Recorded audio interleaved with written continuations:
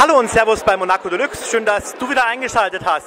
Wie versprochen nehme ich euch mit auf die aufregendsten Runway-Shows hier in Berlin. Heute bin ich wieder mal im Kosmos, denn heute ist Fashion Hall und eine Vielzahl an Designern wird sich präsentieren. Unter anderem gibt es auch eine Drag Queen Show. Ähm, ich bin unheimlich gespannt und ich möchte diesmal auch von Experten wissen, was das Highlight und Lowlights waren. Und ich hoffe, wir bekommen ehrliche Antworten auch für euch. We'll be right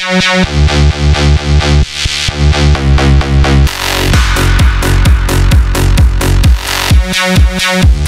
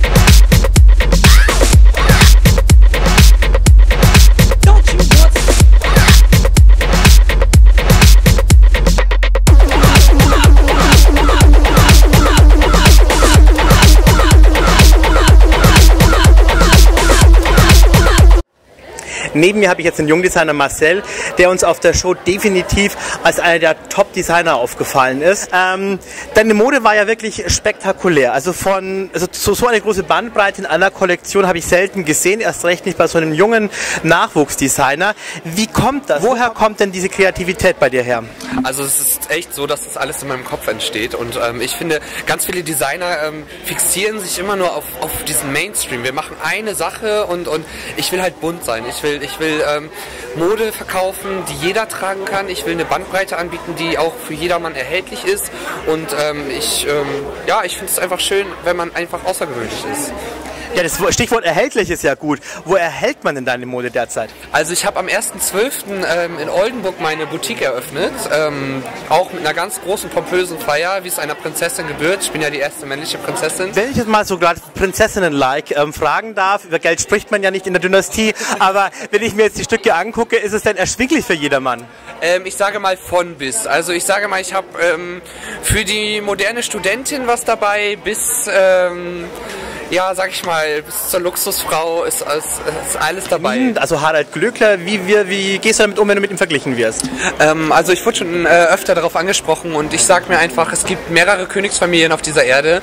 Sie ähneln sich alle, sind doch unterschiedlich und ähm, ich denke, so kann man das mit mir und Harald auch sehen. Krone ist Krone, das ist richtig, aber trotzdem sind wir irgendwo doch unterschiedlich. Aber ist es nicht immer so eine Dynastie, dass die Jungen die Alten von Thron schubsen wollen?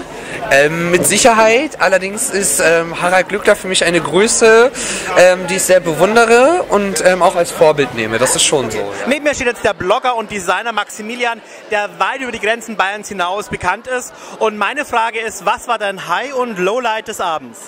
Auf jeden Fall der Dragwalk. Ich fand es super, die Sachen waren super, es hat geglitzert, das liebe ich ja. Und was war dein Lowlight? Äh, die Kunst, die da vorgeführt worden ist. Also das habe ich nicht so verstanden, was da so der Sinn und der Zweck der ganzen Sache war. Vielen Dank und noch viel Spaß auf der Aftershow-Party. Ich habe jetzt neben mir die erfolgreiche Jungdesignerin Scorpia. Und ähm, wie ist es denn, wenn du selbst im Publikum siehst und deine Kollegen auf der Bühne stehen siehst? Also ich finde es sehr spannend, wenn sie sehr kreativ sind und ein bisschen Emotion rüberbringen. Ein bisschen Kreativität, einfach abwechslungsreich. Nicht so das ja, Mainstream-Getue. Ähm, was war denn dein Highlight und dein Lowlight des Abends? Die kreativen Kostüme. Ich war kreativ mit den äh, enormen Federn, genau. Federn und. Und dein Lowlight? Das ganz Verspielte äh, mit Schleifchen, Blümchen, das war nicht so mein Ding. Neben mir habe ich jetzt Chris, den erfolgreichen Fashion-Blogger von der Boy Loves Fashion. Und meine Frage an dich als Fachmann und Experte, der jetzt momentan die nächsten Tage nur unterwegs ist, von einem Runway-Show zur nächsten, ne? was ist dein Highlight und Lowlight dieser Show gewesen? Ähm, das Highlight war definitiv Michaela Schäfer, würde ich sagen. Was war denn dein Lowlight des Abends? Die Outfits mit Federn waren überhaupt nicht meins. Waren ein bisschen zu trashig. Vielen Dank für deine ehrlichen Worte. Viel Spaß noch auf der Aftershow-Party. Gerne. Neben mir habe ich jetzt Nancy, das internationale Model, was heute auch gelaufen ist auf der Show. Und ich meine, du kennst so viele Designer und Shows. Deswegen meine Frage und auch bitte ehrlich beantworten. Was war dein Highlight und auch dein Lowlight dieser Show? Ähm, mein Highlight war natürlich unter anderem äh, Luciana Adulari, aber auch die Drag Queens, wo ich sagen muss, die, Young, die, Jungs, die waren bei uns in der Kabine und haben sich alle selber hergerichtet, selber geschminkt und das fand ich unheimlich faszinierend und äh, ja, auch das Auftreten von ihnen, also sehr selbstsicher und ähm, einfach toll. Äh, das war mein absolutes Highlight. Äh, absolutes No-Go äh, fand ich heute zum Teil äh, die Moderation, die sehr holperig war, ähm, wo zum Teil eben auch äh, die Designer leider ähm, ja, nicht korrekt mit Namen äh, angekündigt worden sind. Das war ein bisschen schade, aber zum Glück gibt es ja noch den Beamer, äh, der alles anzeigt, sodass das Publikum weiß, okay, der Designer ist gemeint. Ja, das konnten wir euch leider nicht zeigen, weil das haben wir rausgeschnitten mit der Moderation, weil sonst würdet ihr zwei Stunden diese Show angucken. Aber wir vertrauen dir einfach mal. Ja, danke dir noch viel Spaß auf der Aftershow-Party. Dankeschön. Das war's heute mit Monaco Deluxe aus der Fashion Hall Berlin, ist im Kosmos. Ich hoffe, es hat euch Spaß gemacht und wir mussten ein bisschen zusammenkürzen, weil die Show sehr, sehr lang war und wir leider Gottes einen sehr schlechten ähm, Sitzplatz hatten. Somit hatten wir nicht immer den besten Blick auf die Models. Ich hoffe, ihr verzeiht uns und bei der nächsten Show machen wir es wieder gut. Das war wieder eine Folge von Monaco Deluxe. Schön, dass ihr eingeschaltet habt. Hier habe ich euch das Video vom letzten Mal verlinkt und vergesst nicht mitten auf den Button zu klicken, um uns zu abonnieren, um keine weitere Folge zu verpassen und folgt uns auf Facebook, Twitter und Instagram. Keine fünf. Und zwar das anzuziehen, wonach man sich fühlt und wo drinnen man sich einfach wohlfühlt und sich nicht verkleidet fühlt. Das ist für mich immer das Wichtigste. Leute fragen mich so oft, was sind deine Must-Haves für